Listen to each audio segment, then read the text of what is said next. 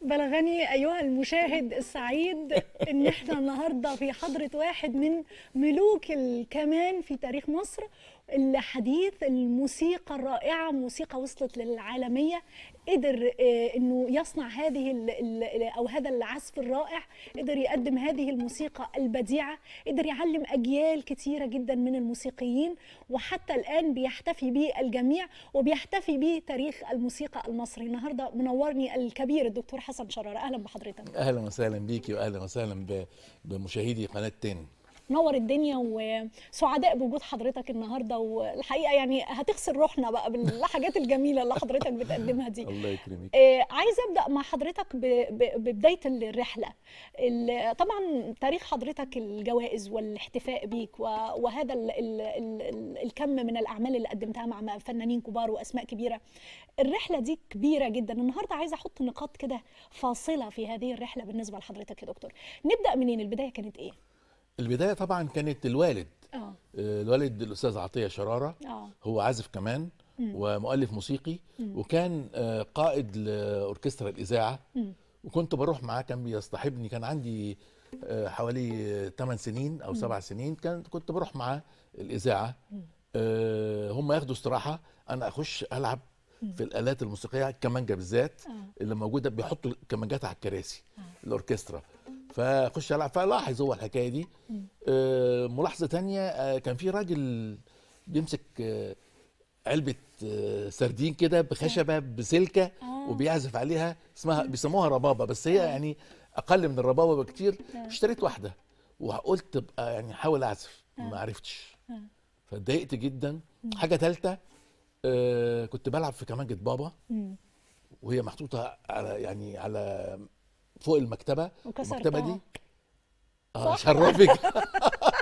أنا فعلا شفتك ساعتها. آه وقفت على الكرسي. أنا كنت صغير فواقف على الكرسي وبشب وبعدين سمعت صوت بابا وهو داخل. كان ممنوع نمسك الكمانجه بتاعته. آه. فرحت مكون فوطة حطيتها على الكمانجه كده الفوطة اللي كانت جوه العلبة ورحت قافل وجامد قوي. الوش اتكسر. آه. هو بقى طبعا خد الكمانجه وكان رايح عنده شغل راح لقى الكمانجه مكسورة. أنا قعدت ثلاث أربع أيام في الشارع تقريبا. آه. يعني لا عايز أشوفه ولا هو عايز يشوفني. من هنا ابتدى هو يعني ألفت نظره إن أنا محتاج عايز أتعلم كمانجه آه. فابتدى يعلمني كمانجا آه لغاية لما آه افتتح أكاديمية الفنون الكونسرفاتوار الدكتور أبو بكر خيرت. آه سنة 1959 آه. فالتحقت بال بالكونسرفاتوار. آه أنا فاكر يوم الالتحاق ده.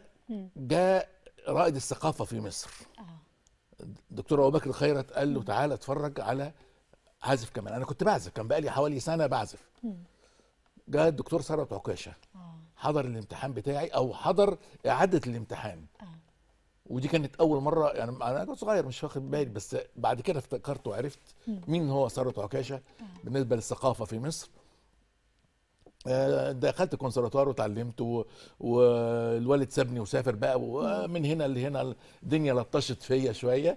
لغاية لما خلصت كونسرفتوار آه، بامتياز وسافرت موسكو. ده كان آه، حلم عند حضرتك إنك طبعاً. تسافر آه. طبعا. أنا كان أمنية حياتي لأنه كان فيها آه، مثل حياتي. آه، مثلي الأعلى. آه، عازف كمان اسمه دافيد أويسترخ.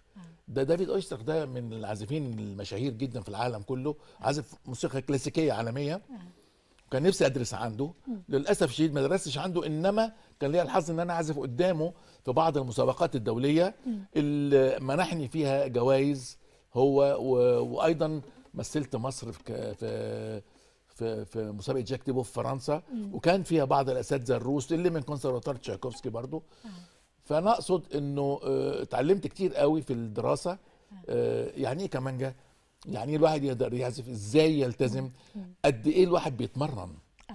يعني أنا يعني ممكن أعد عدد ساعات التمرين بتاعتي بالآلاف.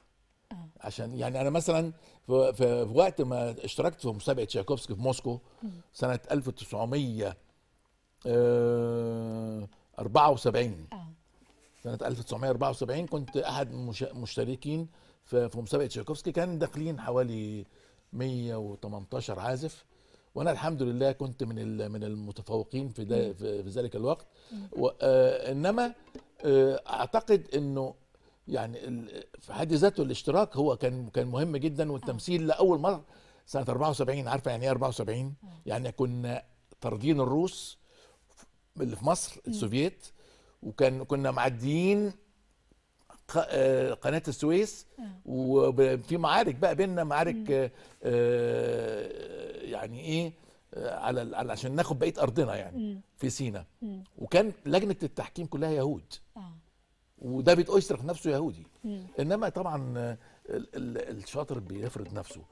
كنت بتمرن 10 ساعات في اليوم لمدة سنة أو سنتين. بعد كده كان التمرين أقل شوية كان مثلا بالكتير سبع ثمان ساعات. سنين بقى. توقف التمرين يا دكتور؟ ابدا. لغاية النهارده ابدا. لحد النهارده بتتمرن. لغاية النهارده. آه. بتحصل ظروف طبعا آه، أنا السن شايفة و- إيد حضرتك بتتكلم وإيدك ب... يعني بتداعب أوتار الكمان لازم أبقى يعني آه لازم أبقى أحس أحس بيها. آه. يعني آه كمانجتي الوالد قال لي مرة. مم. قال لي كمانجتك هي حياتك هي زوجتك آه. هي أختك. فيعني إيه؟ وغيورة. آه. كمانجه غيورة. يعني لو اتشغلت عنها ما تمشيش حلو معاك. تسيبني. آه. آه. فالتمرين هو كل حاجة في ال... يعني اللي عايز يعزف كمانجه آه. زي اللي بيعزف زي اللي بيلعب كورة. آه. بيلعب كورة لو ما بيتمرنش ممكن يكون موهوب جدا وكل حاجة إنما مش هيأدي بالشكل آه. آه. الم- المطلوب يعني. آه. طب تحب تسمعنا إيه تاني يا دكتور؟ آه في الحقيقة أنا طلبت من الوالد مرة من المرات آه وأنا آه، مسافر وبعزف آه آه في الخارج. بعمل مثلا كونشيرتو مع الأوركسترا فطلبت منه مقطوعة صغيرة تتلعب بحيث إنه إيه آه تدي إبهار وفي نفس الوقت تدي طابع مصري. آه. آه، فعمل لي ألف لي المقطوعة دي. هي أصلا مقطوعة للوالد اسمها ليالي المنصورة. آه. ليالي المنصورة دي ال- الشكل الأساسي بتاعها اللي هو هعزف اللحن الأساسي بتاعها أكيد الناس عارفاه اللي هو ده.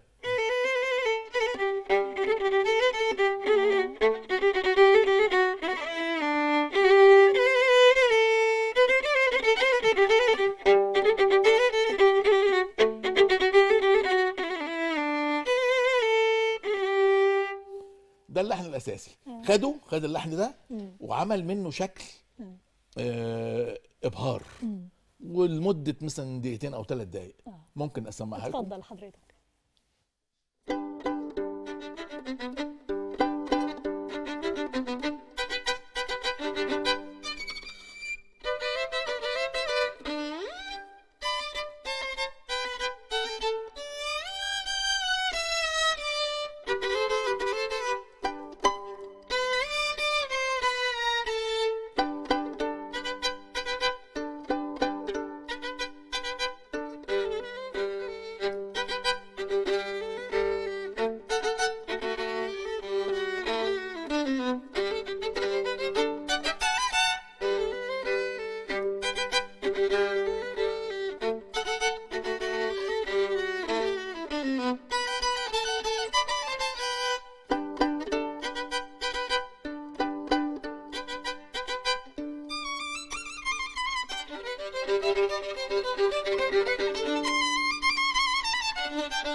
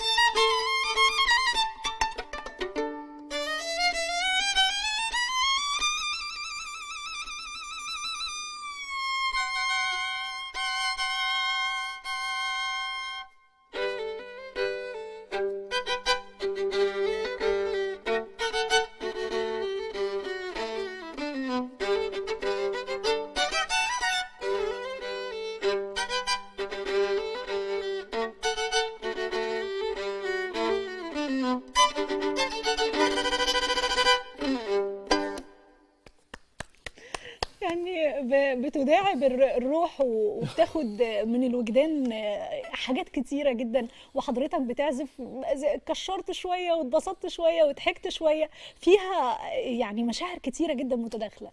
آه طبعا. طبعا. الكمانجا الكمانجا كلها مشاعر. الكمانجا كان بتلقب يعني بسيدة الأوركسترا. آه. ليه؟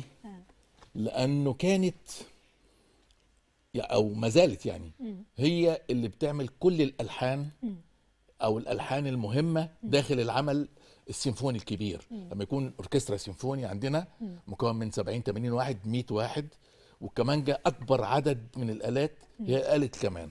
ليه؟ لأن لدورها المهم آه، وبعدين هي يعني قريبة جدا من الصوت البشري. آه. يعني آه، لما واحد تتكلم يعني؟ آه يعني لما واحد يعزف أغنية تهيألك إنه بيك يعني تهيألك إنه فعلا في حد بيغني. آه. يعني تسمعي تهيأ- تسمعي الكلام ال- ال- التفاصيل النفس بتاع العزف. لا يعني آه يعني كمان حاجة كبيرة قوي يعني. آه، يعني آه، رحلة مختصرة كده رحنا فيها مع حضراتكم مع الدكتور حسن وإن شاء الله أنا بتمنى أن حضرتك يعني آه، تجود علينا بلقاء تاني بإذن الله نلتقي مع حضرتك فيه ونسمع حاجات تانية. عايزة أقف مع حضرتك عند ال- ال- الفنانين اللي حضرتك اشتغلت معاهم أسماء كتير جدا وأسماء كبيرة. يعني مين اللي كان أكثر تأثيرا عليك أو أكثر آه، يعني قدرة على صناعة حالة فيك مختلفة؟ في الحقيقة أنا يعني اشتغلت مع عدد كبير قوي من الفنانين واساسا أنا يعني أنا كنت قائد للمسرح الغنائي كنت قائد للأوركسترا القاهره السيمفوني أوركسترا كونسرفاتوار آه، ولكن الكمانجا هي اللي استهوتني يعني القيادة يمكن ما استهوتنيش قوي وما زلت يعني كان عندي حفلة في عيد الحب مع آه، فرقة أوبرا القاهرة في اسكندرية وفي القاهرة هنا آه، مع أوركسترا اسكندرية ال- الوتريات. ولكن الكمانجا هي يعني هي حياتي. فانا كان ليا يعني لقاء مهم جدا في حياتي مع السيدة أم كلثوم. آه، سجلت معاها تسجيل أغنية اسمها آم، الثلاثية المقدسة. دي تقريبا يمكن كان آخر أغنية تسجلها هي. وأنا كان ليا النصيب إن أنا أشتغل معاها. آه، حصل وقعتين. الواقعه الأولانية إن أنا وأنا أنا كنت طالب لسه. كنت في سنة رابعة. في الكونسرفاتوار وداخل الاستوديو استوديو 46 في في التلفزيون. فما لقيتش حد كان الميعاد الساعة 12 فأنا داخل الساعة 12 إلا ربع ما لقيتش حد. وبعدين قلت يبقى لسه ما جوش يعني. فبفتح الاستوديو الباب الأولاني وبعدين الباب الثاني لقيت ام كلثوم قاعدة ولقيت الفرقة قاعدة ولسه الميعاد ما جاش. آه. قلت ياه وقفت كده اتسمرت طبعا. فبصيت لي كده قالت لي أنت ابن شرارة؟ طبعا بابا كان بيشتغل معاها هو قلت لها أيوه يا فندم. طب قالت لي يعني أبوك وحشنا جدا وبتاع. المهم ابتدت تتكلم على إنه ده حاجة عادي إن أنا آجي يعني عشان تدوب الخض اللي أنا اتخضيتها. قد إيه هذا الذكاء؟ وبعدين قالت لي اتفضل دخلت. آه بعد ما خلصنا البروفا كان بروفا. جيت قلت لها لقيتهم بي- بيمضوا هي بتمضي لهم يعني أجازات. آه. كانت صاحبة العصمة بيسموها كده. يعني أي حد بيشتغل في أي حتة أم كلثوم بتمضي له إنه ياخد أجازة فياخد أجازة في البلد كلها. دي شخصية أم كلثوم. ف قلت لها طب إحنا كان يعني كان تاني يوم في بروفا. قلت لها كان معايا زمايلي من الكونسرفاتوار. قلت لها إحنا عندنا بروفا في الكونسرفاتوار الأوركسترا الكونسرفاتوار. فقالت لي طب مين يعني المسؤول؟ قلت إحنا الشباب اللي مكونين هذا الأوركسترا ويعني ملتزمين بحضوره يعني إحنا ما حدش مكونه إحنا اللي مكونينه يعني. فسكتت كده وقالت لي طيب خلاص غيب وروح اعمل الشغل بتاعك وتعالى على التسجيل بعد بكرة. لا يعني حاجة قد إيه الإدراك؟ وبعدين آه، قد إيه الالتزام؟ جيت الساعة يوم يوم التسجيل الساعة 12 الظهر دخلنا سجلنا من 12 الظهر لواحدة بالليل وهي بتسجل. 13 ساعة.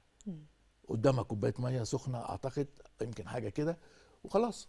فيعني درس كبير جدا. آه. يعني يعني حسيت بقد إيه هي فعلا ست عملاقة في, في فنها وفي التزامها. وكان لحن الرياض السنباطي. تعاملت مع الرياض الله يرحمه. آه. يقول لها يفتح الكيوبيك يقول لها مش كده يا ست؟ آه. قدام الناس كلها. آه. هما تقول له إزاي يا بابا؟ كانت تقول له يا بابا. آه. يروح داخل رياض ويغني لها الجزء طريقة الأداء اللي هو عايزه. فقلت له بتغني يقول لها أيوه كده مظبوط.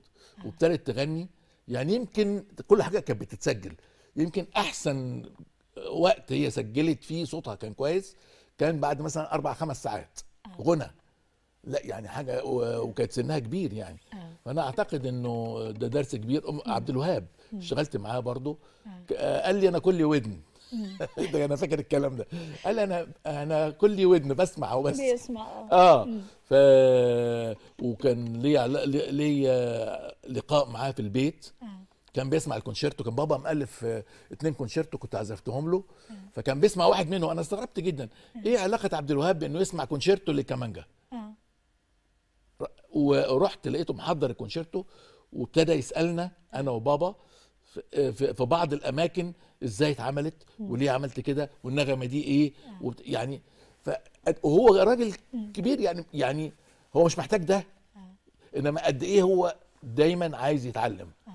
ده من أسرار ال- العظمة والنجاح آه. البحث عن التعليم والتدريب الدكتور بيقول لحد النهارده بي- بيتمرن يعني دكتور الرحلة مع حضرتك عدت آه، سريعا وفيها حكايات وتفاصيل وعندك أسرار كتير لسه عايزين نسمعها إن شاء الله حضرتك يعني تكون موجود معانا وتنورنا مرة تانية.